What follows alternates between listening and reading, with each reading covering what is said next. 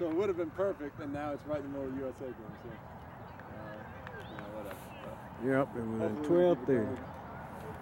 That'll be a tall, tall, tall ass to get past Netherlands, but I think they definitely have a shot. Well, It'll be if it does go into overtime, Yeah. we'll potentially go see it. Yes, that's So- true. Good ball, Reagan. Catch it out on the field after the game, sitting in the sun. and whatnot.